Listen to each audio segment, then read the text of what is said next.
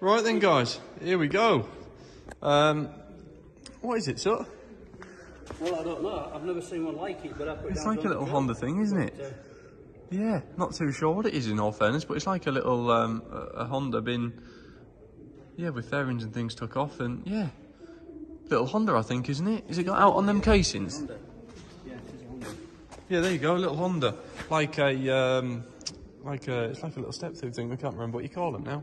C70. C70, C90, something like that, isn't it? Anyway, you guys at home will check it out, I'm sure.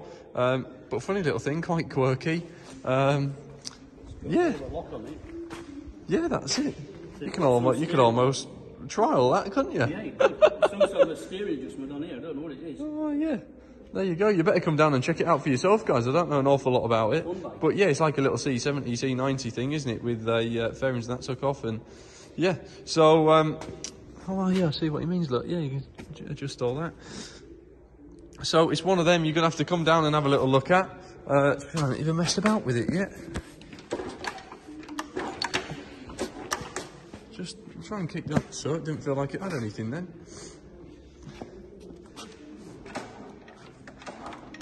Do you have the I think it's clutch wise rather than. Yeah, clutch I think is just slipping, isn't it? Yeah.